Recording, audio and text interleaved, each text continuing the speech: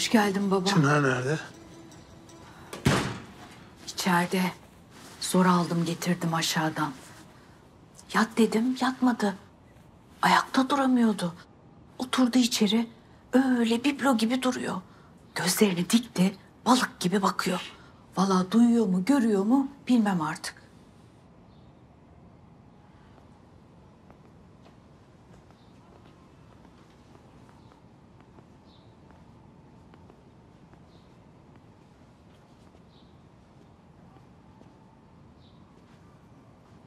Çınar.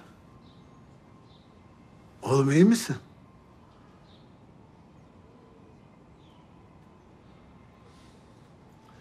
Siz ikiniz biraz yalnız bırakın beni torunumla. Tamam baba. Hadi kuzucuğum gel. Bana inelim biz.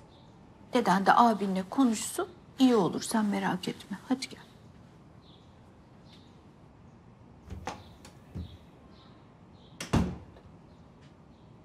Çınar!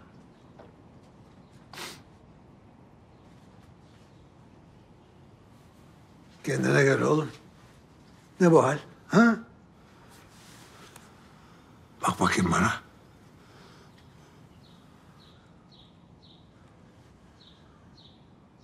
Ben o adamı sırtımda taşıdım dede.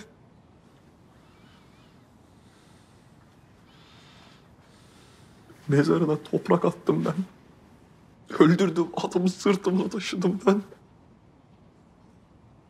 Daha kolaydı dede. Kimse bilmiyorken daha kolaydı. Şimdi Ceylin öğrendi. Ailesi öğrendi.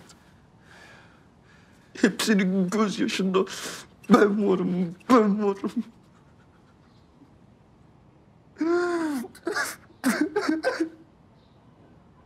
Evlat. Kendine gel. Yoksa biteriz. Eğer zayıf düşersen hepimiz düşeriz. Baban nasıl bir taşın altına elini koydu senin hiç haberin yok. Dünyayı ateşe verdi, dünyayı. Böyle zırlayıp durursan hata yaparsın. Eğer baban senin yüzünden yakalanırsa